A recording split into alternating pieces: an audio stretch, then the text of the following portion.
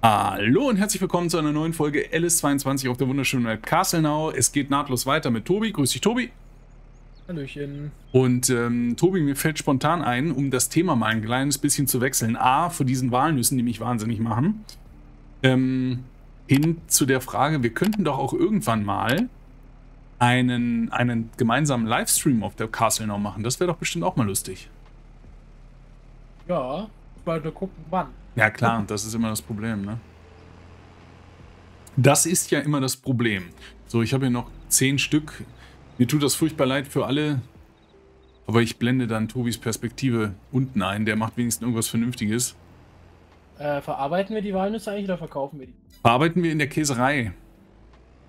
Ach, Walnusskäse. Genau. Lohnt sich das? Ähm, der Ertrag, der hier rauskommt, ist ja jetzt nicht so die. Lohnt sich, aber erst seitdem ich es angepasst habe. Also es hatte sich nicht gelohnt. Es ist sogar weniger gewesen, als wenn man das nur zu Milch gemacht hat. Und da habe ich dann ein bisschen gefummelt. Aber wo gibt's denn Walnusskäse? Bei mir gibt's bei der Käserei nur normalen Käse. Ach nee, für den normal, das ist normaler Genau, normaler Käse ist, ist das quasi hier. Aber warte mal, ich, ich stelle das schon mal um, ne? Dass wir das Zeug nicht mehr direkt verkaufen.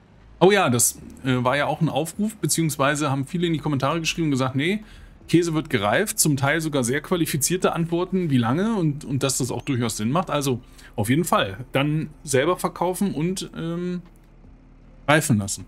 Ich, mein, ich weiß jetzt nicht, ist jetzt wieder nur meine Frage an dich, du wirst dich auskennen, ob man den Käse dann in seiner Verpackung vor dem Gebäude einfach lagert. Aber ja, vielleicht macht man das in, in Frankreich so. Gibt es bestimmt möglich. Sonst, wir haben ja ein riesen Regal in der Käserei. Bleibe erstmal liegen können. Ja. So. Wenn es jetzt nochmal schnell gehen würde, könnte ich irgendwas anderes auch nochmal machen. Äh, ich hatte mir für den Zettel für heute aufgeschrieben, was wir als nächstes machen müssten. Das wäre tatsächlich... Das macht mich wahnsinnig hier. Ich weiß, dass ich das... Ähm, letzten Jahr habe ich das bestimmt über zehn Folgen gestreckt, hier das Ernten.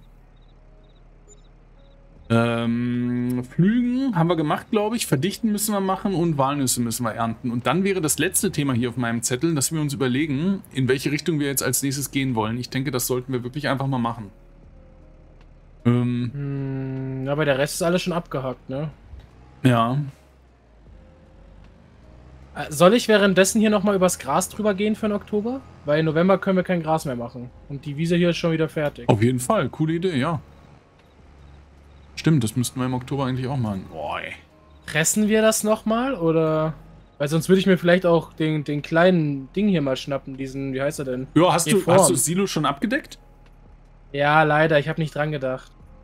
Dann. Aber wir haben ja zwei. Also wir können ja einen, Ja, du ein kann- Mais-Silo und ein Gras-Silo. ja, mach, du, du musst nur die Förderwände irgendwie rausschaffen.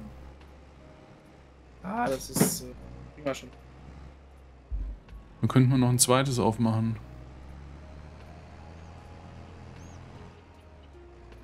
So.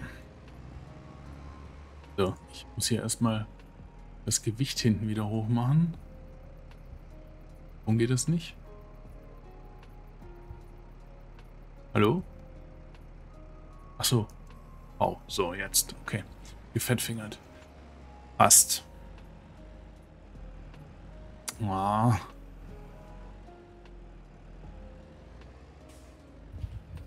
Gut. Ja, was gab's sonst so Neues äh, im Internet? Hab nicht viel gesehen. Um ehrlich zu sein. Die Triple Seven ist draußen. Hast du bestimmt auch gesehen. Ich habe Ja. sie, ich hab sie mir auch noch nicht gekauft. Ich werde irgendwie noch geizig auf meine alten Tage, aber im Moment irgendwie gar keine Zeit für irgendwelche Langstreckenflüge, wobei ich echt richtig Bock hätte. Insbesondere da, ich habe ja Äh. gesagt, dass, wir ne, dass ich nach Dresden gefahren bin und da kommt man ja auch am Flughafen Leipzig, also Halle Leipzig vorbei. Da geht ja auch die Runway so geil über die Autobahn. Und das ist ja auch so ein DHL-Hub. Hätte ich auch mal Bock zu. Ja, genau. Ich weiß halt nie, was ich auf Langstreckenflügen machen soll. Ja, muss, äh, das ist eine gute Was machst du Frage. sechs Stunden vorm PC, wenn du nur Wolken siehst? Ja, entweder ähm, bist du gar nicht am PC, aber dann macht Langstrecke irgendwie auch keinen Sinn, finde ich, weil dann läuft er halt irgendwie nur so im Hintergrund. Oder du machst halt irgendwas nebenbei. Es gibt ja dann noch die, die auf Langstrecke auch noch mit Wattsim fliegen. Das finde ich ja dann richtig. Da hast du ja dann, was weiß ich, eine Stunde spricht ja gar keiner mit dir. Ja, ja, und da musst du auch die Oceanic Clearance und so weiter, musst du voranmelden, eine halbe mhm, Stunde oder mhm. so. Und dann musst du auch äh, genau wissen, wann du da bist und so. Das ist schon was anderes.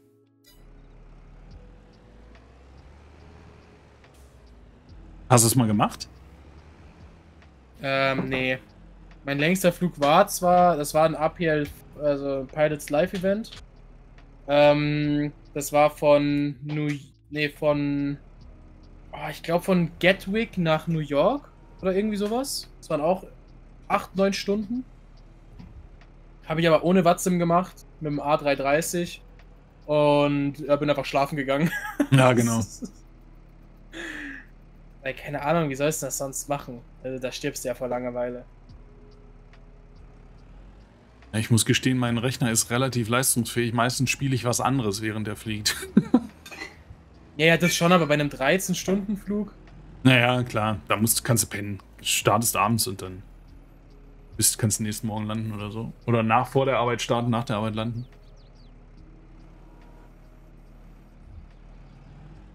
Hier sind ein paar Bäume, die wollen nicht. Aha, da jetzt. Man muss erst meckern. Ist wie, ist wie überall.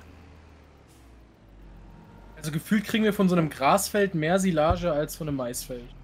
Total. Das ist auch so. Ähm, ich, in irgendeiner Folge, so in den 60ern, habe ich das mal ausgerechnet, dass sich das null lohnt mit dem Mais. Aber ich, und das ist, wir haben vorhin oder vor zwei Folgen ganz kurz drüber gesprochen, das ist dieses Thema Grassilage. Ich finde, es ist A, zu mächtig im LS es gibt zu viel Geld, kann es aber nicht beurteilen, ob es in echt so ist. Ähm, und zum anderen ist das irgendwie ja besser als alles andere. Deswegen macht das, ich finde das blöd, um ehrlich zu sein. Ich weiß nicht, wenn so ein Bauer sein, sein Feld mäht irgendwie, ich gehe davon aus, der braucht das Heu für seine, für seine Viecher und nicht, weil er damit reich wird. Keine Ahnung. Mir irgendwie zu mächtig. Achso, ja, den habe ich schon. Vor allem finde ich auch, ich meine, im Real Life. Ich habe übrigens gerade an der Silo-Wand unseren kompletten Ding kaputt geplatzt. Freu mich.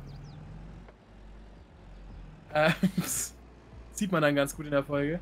ähm, ich meine, du machst das ja im Real Life ja viel wegen den Kühen auch. Es wird ja schon, schon den Grund haben, warum Bauern alle ähm, Mais-Silage machen und nicht immer nur das Gras häckseln.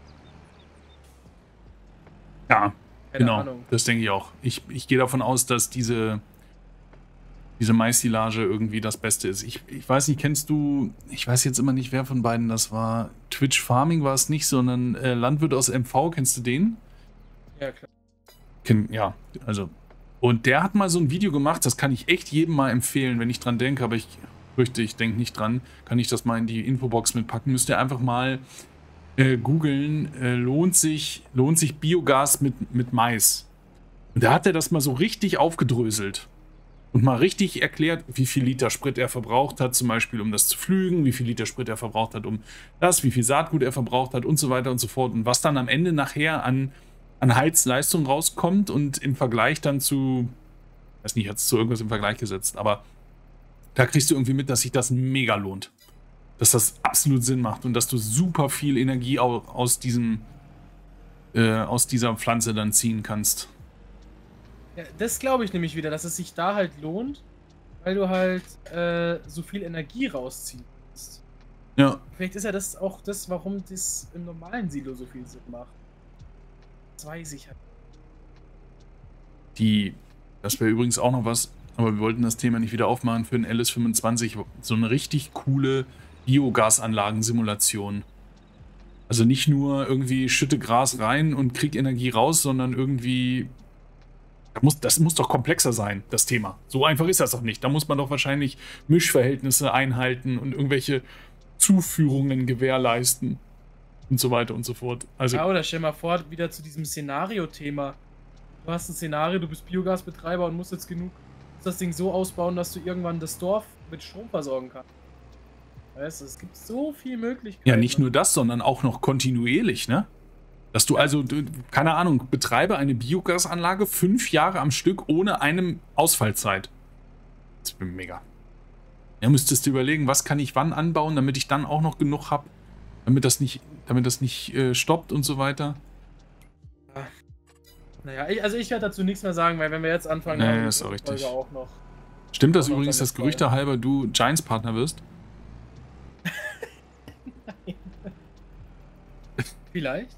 Und ab der nächsten Folge deine Meinung änderst? Das, das sehe ich erst, äh, wenn mein Kontostand sich ändert. Okay. Damit der auch mal wieder im Plus ist. Apropos Kontostand, Sunnyfair kostet jetzt 1 Euro. Das war mir neu. Weißt du, was das Lustigste ist?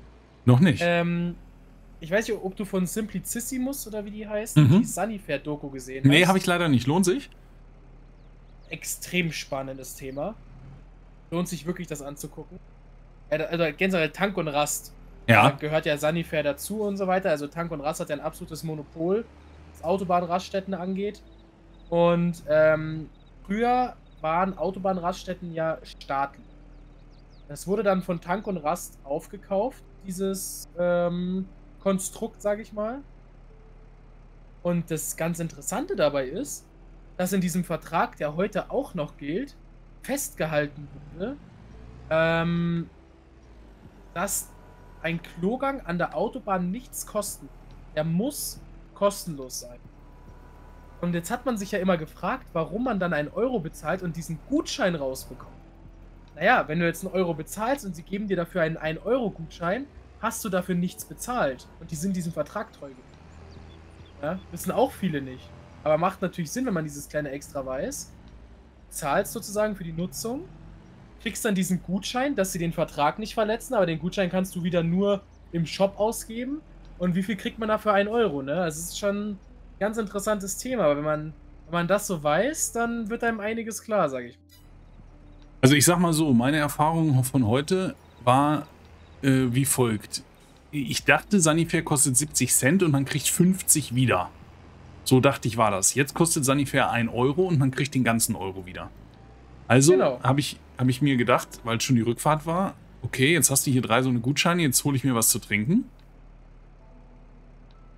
Dann habe ich noch gesehen, äh, ADAC-Mitglieder bekommen irgendwie 10% Rabatt auf den Einkauf. Habe ich gedacht, okay, kann ich ja alles anwenden. Also erster ADAC-Karte rausgeholt. Nee, nee, nee. Die gilt nicht in der Tankstelle, sondern nur in der Raststätte. Aha, gut, jetzt stand ich aber eben an der Tankstelle. Dann habe ich drei von diesen Gutscheinen hingelegt. Nee, nee, nee.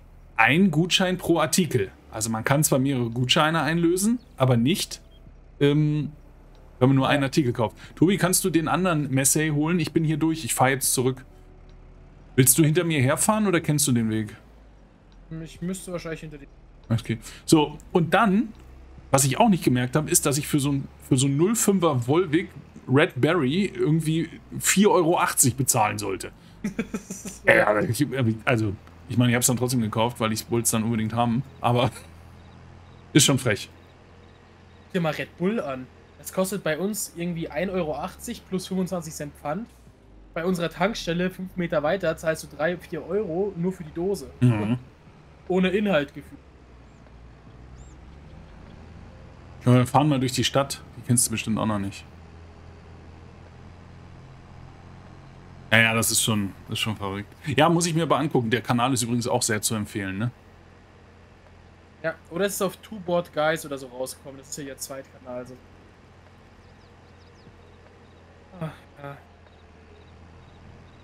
Was ich auch einen sehr interessanten Fakt finde, vielleicht ein bisschen random jetzt kommt, ähm, wie viel Gehalt eigentlich der Chef von ARD und ZDF bekommt. also das ist ja, der, der verdient ja mehr als unser Bundeskanzler, Ja, obwohl es eine, obwohl es eine staatlich geförderte Einheit ist, sage ich. ja, ist schon verrückt. Ich habe mal irgendwo gelesen, dass das, ähm, dass das verfüg oder zur Verfügung stehende Geld der öffentlich-rechtlichen irgendwie das ähm, Budget von Netflix um das Doppelte übersteigt. Ja, und jetzt guck dir mal Netflix an und jetzt guck dir mal ARD, ZDF an. Naja, aber kannst du einen Tatort gucken jeden Sonntag. Also das Einzige, was ich irgendwie interessant finde, kommt aber vom BR, Das ist von, wie heißt das, von Spessart zum Karwendel oder so. Paul, oh, wie heißt er nochmal?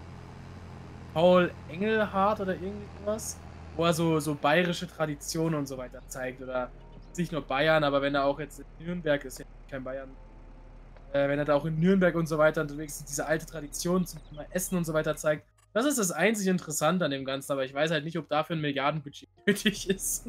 Das kenne ich gar nicht. Musst du dir unbedingt mal angucken. Sehr, sehr interessant. Da werden auch teilweise so alte Rezepte gezeigt und so weiter. Sehr, sehr gut. Nee, Enghofer, Paul Enghofer. Halt.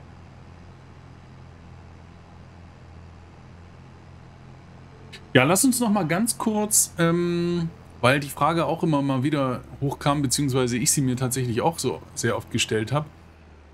Äh, warte mal, müssen wir jetzt hier schon? Eine Sekunde. Nee, wir müssen noch. Wo weißt du das jetzt? Da ist logisch. Ey, der will sich hier zwischenmogeln. Hier wäre ja das ganze Thema Wein. Bleib mal kurz stehen hier. Guck mal, hier sind diese Weinberge. Jetzt schon nach extrem viel Arbeit aus. Mach ich lieber mal. Ja, aber ich, also wir brauchen ja irgendwas, wo wir quasi uns demnächst mal hinentwickeln wollen. Hm. Also ich finde halt dieses Kartoffelpack echt cool, was ich dir. Aber das ist halt sehr teuer. Ja, und du brauchst diese riesigen Hallen und dafür. Nee, nicht unbedingt. Du kannst den Sortierer auch einzeln kaufen. Der kostet, glaube ich, 180k oder so. Weil, äh, Die Halle ist wirklich nur, wenn du auch lagern willst. Also wenn du eine Lagerhalle dazu. Und äh, brauchst du, aber einen Roder bräuchten wir auch, ne? Ja. Wir bräuchten einen Roder, wir bräuchten eine Pflanzmaschine. Das ist halt, aber ist ja beim Wein nicht anders, ne? Da ist der Wein halt noch teurer. Jetzt mal hier. Hier geht's doch gar nicht lang, Tobi. Ich, wieso fahre ich denn dir hinterher? das macht doch gar keinen Sinn. Guck mal auf die Karte. Bitte. Ja, ich fahre jetzt mal meinen Weg. Ja, guck mal auf die Karte bitte und dann sag mir nochmal, dass es hier nicht lang ist. Nein, nein, ich fahre mal meine Strecke. Dann kommen wir nämlich an unseren Feldern vorbei. Mhm. Das ist ganz genau, dass ich.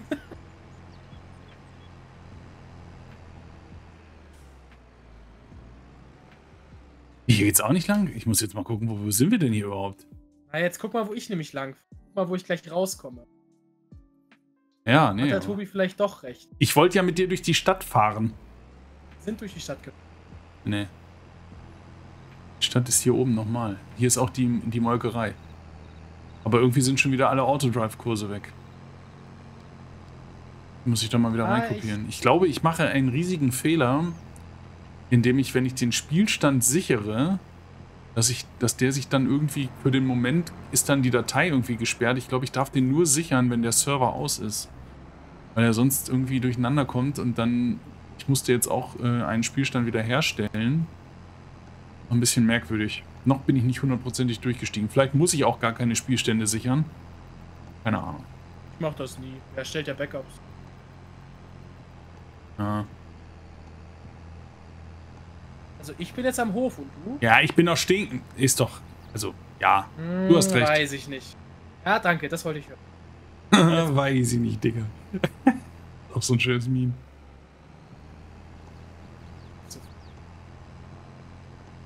So, Ich ich bin mach, schon am ich mach, ne? ja, ich mache hier nochmal, du, ähm, eine Feldkontrollfahrt. Die Frage ist tatsächlich, wir müssten hier auch nochmal flügen und zwar gar nicht so wenig. Also das, ähm, nee. Glaube nicht. Ich habe eigentlich nachgeguckt, wo gepflügt werden muss und das war. ja, aber da müssen wir grubbern, also wir müssen irgendwie, Achso, ja, ja. ist irgendeine. Bodenbearbeitung müssen wir machen, weil hier ist nur, hier ist noch Stoppelsturz. Aber gut, da haben wir den ganzen Winter für Zeit. Hier müssten wir auf jeden Fall noch zwei Felder machen. Und hier ist noch das. Oh. Und da jetzt eigentlich der Stand. Ja, Hier ich finde es gut, dass ich gerade die Walnüsse abladen wollte und dann wird mir angezeigt, Mutter wird hier nicht angenommen. Finde ich gut, dass ihr keine menschlichen Mütter verarbeitet. Ja. Ähm, das ist tatsächlich ein Thema, das hat sich durch 50 oder 60 Folgen gezogen. Ähm, bis, Mach bis die mir Butter mal aus, oder? Hm? Soll ich die Butter mal ausmachen, dass er sich jetzt auf Käse konzentriert? Ja, oder? kannst du machen. Ja, red weiter, sorry. Äh, nee, da, wie das dazu kam. Und zwar ähm, ich habe mich auch immer gewundert, beziehungsweise wieso das irgendwie französische Wort für Walnuss oder so, aber auf jeden Fall ist das französische Wort für Walnuss dann automatisch ins Englische übersetzt worden und da wurde aus Walnuss im Französischen nur die Nuss und dann im Englischen Nut und die Nut ist ja auch gleichzeitig die Mutter. Also von Screw und Nuts und dann hat das nächste automatische Ah. Übersetzungsprogramm aus der aus, aus der Nuss quasi aus der Nut eine, eine Mutter gemacht. Und ich habe mich auch immer gefragt, was das soll. Und irgendjemand hat dann mal, ich habe leider den Namen vergessen, sorry, aber der hat dann in den Kommentaren das mal geschrieben und da fiel es mir so wie Schuppen von den Augen. Ich habe ihn auf jeden Fall namentlich erwähnt in der Folge, wo es, wo es dann wirklich soweit war. Aber apropos äh, Schuppen vor den Augen, das würde erklären, warum du gerade falsch gefahren bist. Vielleicht sind da schon wieder welche drauf. Weil ich habe jetzt schon alles abgeladen und Ja, ja. Tobi, an, weißt äh, du? kannst du eben nochmal, weil ich finde schon, dass das jetzt gerechtfertigt wäre, dass hier habe ich nämlich noch ein paar Walnussbäume gepflanzt, dann könntest du die eben nochmal schnell fertig machen. Ähm, vielleicht dann einfach außerhalb der Aufnahme, oder? Ah ja, bestimmt. Ganz alleine nur für dich. Genau. Nee, Heut, vor- heute Abend. Ich mache extra länger und melde mich morgen in der Arbeit krank. nee, das. Nee. Ach so, in der echten oder hier auf dem Hof? Nee, in der echten. Ja, das ist in Ordnung. Aber hier auf dem Hof bitte, bitte nicht. Ich finde das übrigens ist hier eine sehr coole Ecke mit dieser Brücke und so. Letzte Frage. Dieser Nebel wurde ja so extrem gehypt im LS25 und auch, dass diese Sonnenstrahlen, hat der es dann echtes Raytracing oder ist das kein echtes Raytracing? Ich glaube nämlich, das sind nur Sonnenstrahlen ohne echtes Raytracing, ne? glaube. Andererseits, die Lackeffekte und so weiter, die sehen schon etwas nach Raytracing aus. Also. Ja, stimmt. Das finde ich auch ganz cool, dass sich die, da muss ich mal positiv sagen, dass, dass die Straße sich dann so drin spiegelt, das fand ich cool. Und was ich sehr cool finde, und das meine ich ernst, ist, dass die Wolken jetzt Schatten werfen auf den Feldern. Ich Ja. glaube, das ist von der Immersion her nochmal eine, eine andere Nummer. Das finde ich sehr, sehr cool, muss ich sagen. Stimmt. Schönes. Stimmt. Das ist auch cool. Also ein paar coole Sachen gibt's schon, aber hätte auch einfach ein 25 oder ein 19 Euro DLC sein können. Ja. Naja, nicht das Thema wieder. Nicht zum Ende. Ist schon spät. Also diese Walnussbäume treiben mich wirklich noch in den Ja, Boden. aber die bringen eine Menge. Glaubt mal, der Käse, der hilft uns. Aber sollte nicht normalerweise der Chef immer die Arbeit machen, die am meisten Geld bringt? Ja, ich stehe hier so rum und putze mir die Schuhe. Ah ja, schön. Guck mir mal hier das an. Hier so, oh ja, hier ist so ein Zaun. Ein Stacheldraht. Mhm, mhm. Ja, nee. Zaun ist in Ordnung, Tobi, müssen wir nichts machen. Oh, warte mal, wir können vielleicht, ich gehe mal hier hinten hin, aber ich glaube, die sind noch nicht. Ich habe ja hier Bäume gepflanzt. Dann könnten wir das eigentlich. Und das müsste dann eigentlich unsere Brennholzproduktion werden, hier aus diesen selbst angepflanzten Bäumen. Das wäre eigentlich cool. Ob ich jetzt hier hochkomme? Äh, sind die schon komplett ready? 35,8. Uh. Hier hinten sind die Fichten. Und zwar. Hier ist richtig dichter Fichtendickicht, oder wie das heißt. Also, hier sind bestimmt. Ja, ja, ich, ich weiß, was du meinst. Nee, ne? Ist so ein norddeutsches Ding, oder was? Also ich habe noch nie Fichtengedicht gehört, aber ich kann mir vorstellen, was Also kein meinst. Fichtengedicht. Das ist so ein Zungenbrecher. Im dichten Fichtendickicht. Und dann geht das irgendwie noch so weiter und das soll man dann dreimal Ich schnell. glaube, ich bin einfach zu jung dafür. ja, kann sein. Zungenbrecher gibt's nicht mehr. Bei, ihr könnt schon alles Ja, einfach Zungenbrecher aussprechen. kenne ich schon. Ja? Also, ich werde für heute die Arbeit niederlegen. Weil es mir tut, aber diese Walnussbäume brechen mich innerlich. Okay. Ist ja auch so ein Thema, dass die Jugend nichts mehr ab kann, ne? Aber ja. Sagt der, der sich einen automatischen Walnussernter geholt hat, anstatt das mit der Hand runter zu pflücken. Wie, wie, wie gut wäre das Let's Play? 100 Folgen Walnüsse pflücken. das wäre schon nicht schlecht. Gut, also, Tobi, ich würde sagen, wir können nochmal Folgendes festhalten, wenn du einverstanden bist. Wir haben da hinten, guck mal so in die Richtung, in die du jetzt guckst. Siehst Ah ja, du diese, diese nicht sehr schönen, aber doch sehr effizient gepflanzten äh, Fichten. Und wir könnten also ein bisschen was verkaufen. Nächste Folge holen uns den Brennholzspalter, machen ein bisschen Brennholz und sehen dann zu, dass wir mit der Kohle entweder auf Gemüse, Wein oder Kartoffeln gehen. Da können wir uns ja nochmal überlegen. Das kriegen wir hin. Und dann haben wir nämlich mal wieder was Neues hier auf der Karte. Würde mir sehr, sehr freuen. Ich bedanke mich, wie immer, dass du dabei warst. Hat mir sehr viel Spaß gemacht. Und hat mir auch so ein bisschen. Also, ich habe diesen Dampf mal ablassen können, der schon wieder in mir drin war. Bezüglich des LS25. Und ähm, dann sollen die letzten Worte bitte dir gehören. Mach nochmal Werbung für deinen Kanal. Ja, hat sehr viel Spaß gemacht. Äh, wenn ihr qualitative Videos sehen wollt, kommt gerne zu mir. Danke. Und äh, ja, dann sehen wir uns beim nächsten Mal. Äh, gerne einen Kommentar da lassen, liken nicht vergessen, abonnieren. Und ja, dann würde ich sagen. Macht's gut. Tschüss.